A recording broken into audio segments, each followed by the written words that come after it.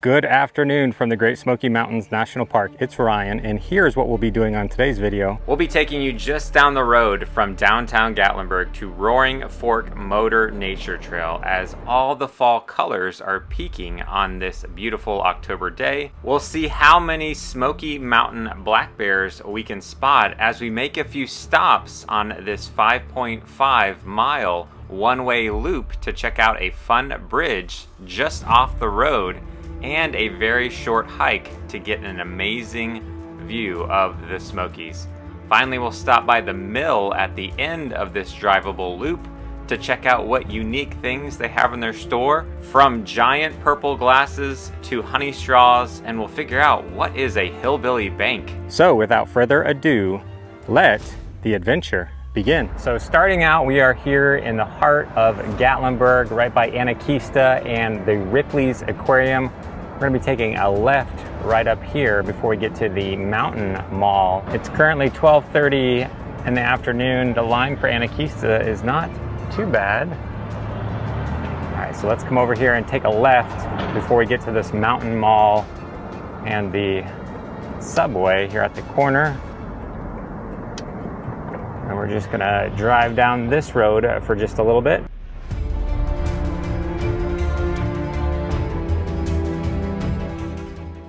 We come up to this first stop sign, we're gonna be taking a left. Here at Mynatt Park, they do have a kids fishing area and it looks beautiful right now with all these leaves. I see some people having a picnic. Oh man, it is a gorgeous day out right now. Current temperature says 73 degrees. As you can see to the right, the Great Smoky Mountains National Park sign. I see people taking pictures. Maybe we got a bear up here on the left. Oh, it is a bear.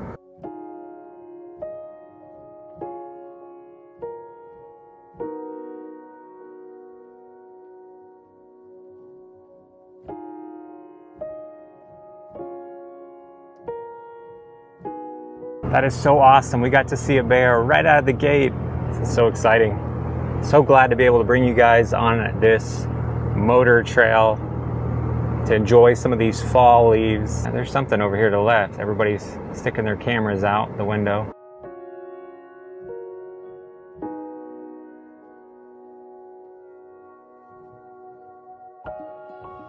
Well, there's bear number two. I was a little worried that middle of the afternoon we might not see as much activity as much as first thing in the morning or later in the evening, but we're just a little bit into this drive and we've already seen two bears.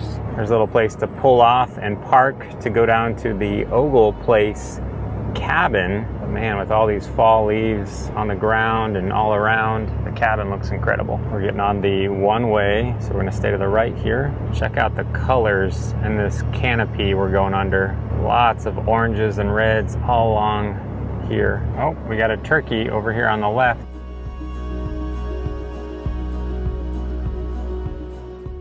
Rainbow Falls and Bullhead parking. I'm gonna see if I can find a spot. I would like to check out Bullhead. My neighbor said it's worth the short little hike. So let's see if we can walk out there real quick. I did find a parking spot up here and I did want to point out they do have some restrooms.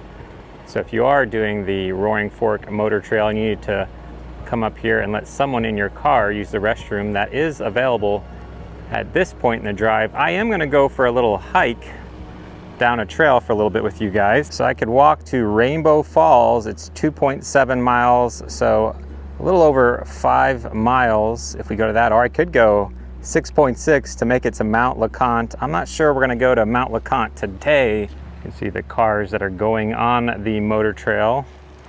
So we worked our way over here to this old Sugarlands trail. Bullhead Trail is 0.4 miles. So enjoy the nice peaceful walk through the trees.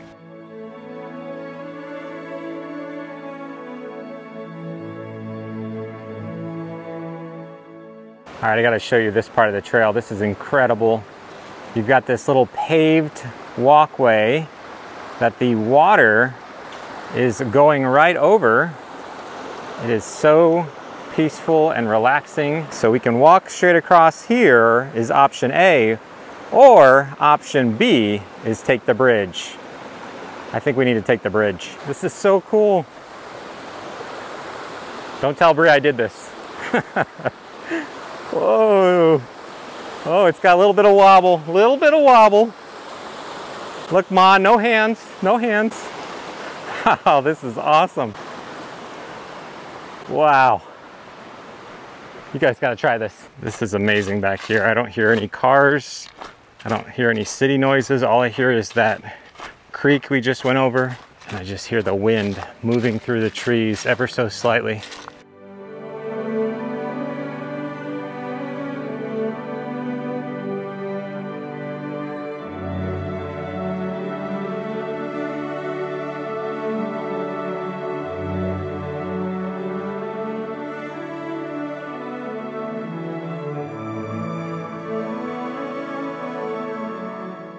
So I could keep going in the same direction and get to Newfound Gap Road in three and a half miles.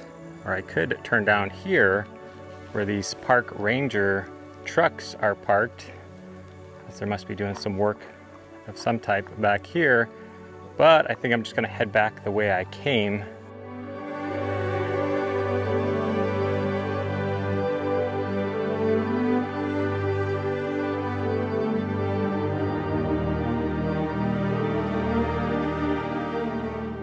We've made it back to the bridge. This time, I'll take you with me so you could see what I see.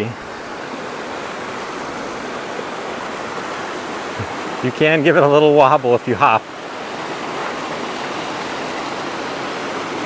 Whoa, let's keep going. Just keep going. This is not that far from that bathroom and parking area if you can find a spot. This is a neat little short, very short hike you can come over here with the kids and kind of splash around this little water area and the older kids that are brave enough can uh, try the bridge. So let's head right back up around the corner here to the car. Now that we're back to the car, let's get back on the motor trail. Let's see if we can find any bears out here. And if this area is filled up, they do have some additional Rainbow Falls parking up here. We're hopping on the Roaring Fork Motor Nature Trail. It's a canopy of trees. So beautiful.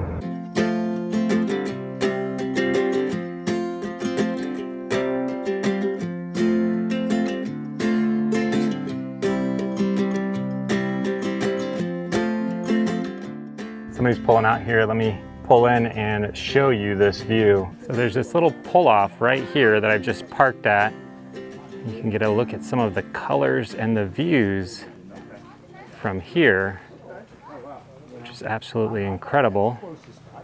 I'm gonna take a little walk down this trail and see what we can see. All right, we're gonna work through these trees and see what I can show you right down this little trail.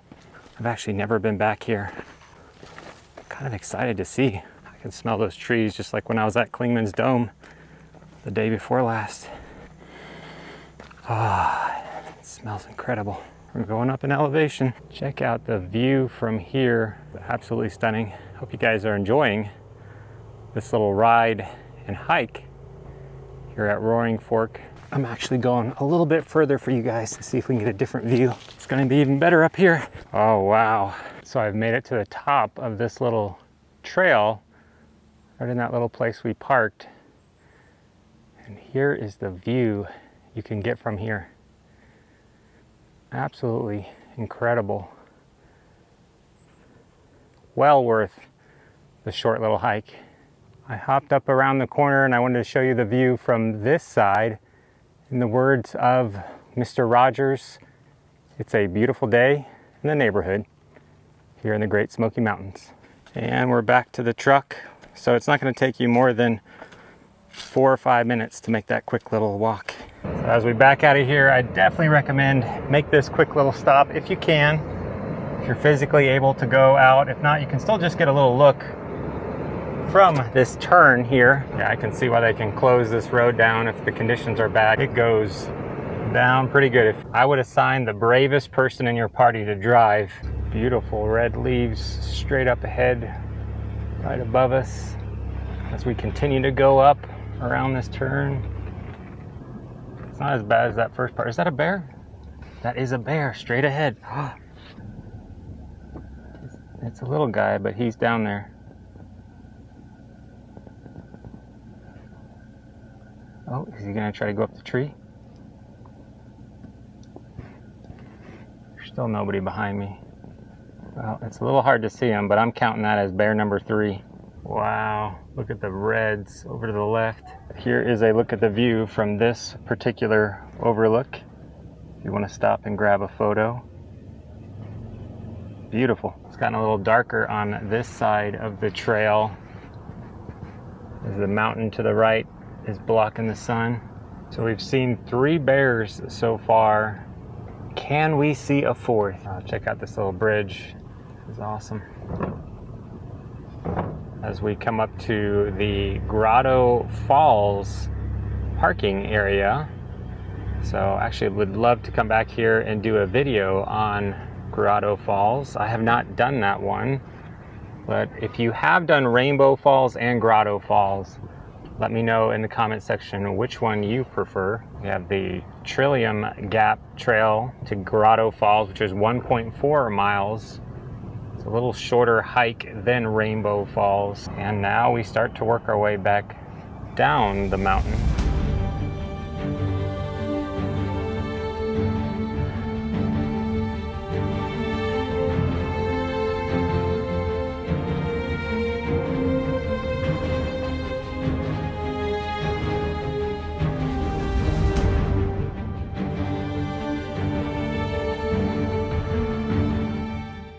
This section right here is absolutely beautiful.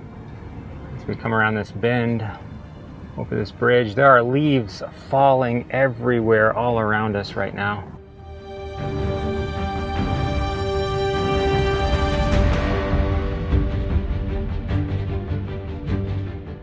I think this might be one of my favorite stretches on this trail. Creek running over here to the right is absolutely beautiful. A little hard to see through the trees. And look up here on the left, all of these yellows and oranges, little bridge going over the water.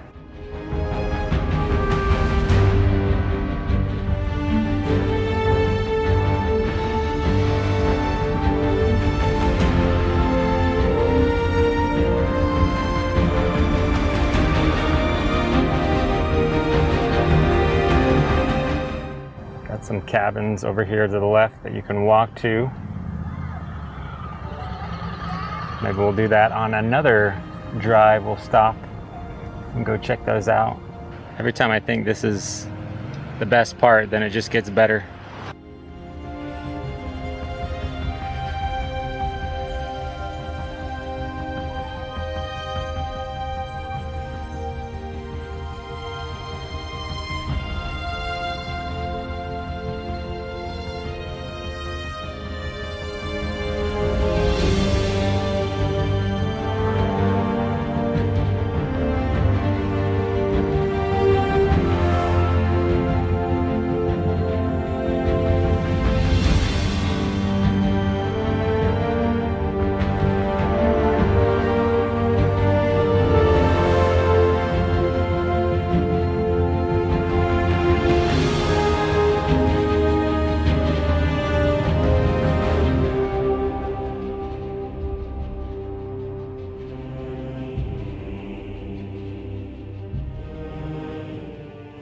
Coming up to the mill, Ely's Mill. Looks like they're selling some apples over here on the right. And he's cooking up something. Is that boiled peanuts? I love boiled, they're boiled peanuts. I've got to stop. I need to find a parking spot. So I found a parking spot, so let's go check out what Ely's Mill has. Got a vendor here at Millside Cabin. Go across the street, peek in the water wheel craft shop real quick. For $3.99 you can get a pea shooter.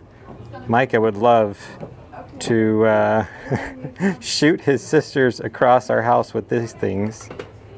So that's maybe a pass. They've got some uh, spinning tops and all sorts of other little toys for kids, marbles. And they have some hand painted ornaments here of a bunch of different black bears. For $6.99 you can get yourself a Hillbilly Bank. You deposit your money here. It's a sock. And so once you fill it up, you can withdraw at the other end.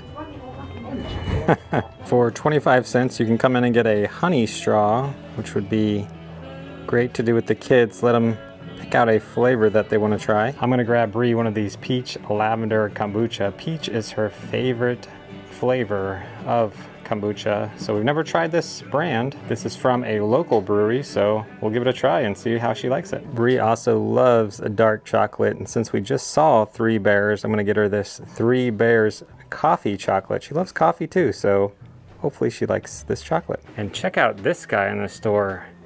He has a nice set of sunglasses.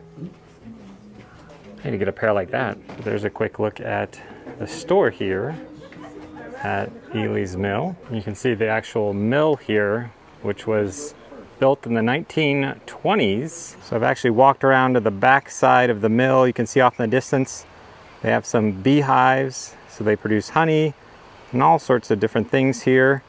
Got this little pavilion that they actually just had a wedding. The wedding party just left. So maybe on another video, we'll come back and explore a little bit more around the mill but I'm getting hungry. I think I'm gonna start heading back home. Before we hit the road, I gotta stop and get some boiled peanuts. I love boiled peanuts. Let me see how spicy this Cajun is. Not too spicy, but I love a good classic salted, so. But this is good, so I'm gonna do half, let's do half and half. Good. Thanks guys. I have not eaten all day, so I am so excited to have these boiled peanuts on the drive home. Brie is not a fan of boiled peanuts. She thinks they're disgusting, but I absolutely love them. So let me know in the comments. Are you team boiled peanuts or leave those things alone, eat them as they are? After leaving the mill parking area, you can see where this one-way road comes out and you just have to drive a little bit down the road to make it back to where we started in this video over by the aquarium. But that wraps up our drive through Roaring Fork Motor Nature Trail, highlighting just a few things along the way. If you found this video helpful and enjoyable, do us a huge favor, hit that thumbs up button. And if you are new here, we'd love to have you subscribe for more videos just like this. Thanks so much for watching. We'll see you on the next adventure.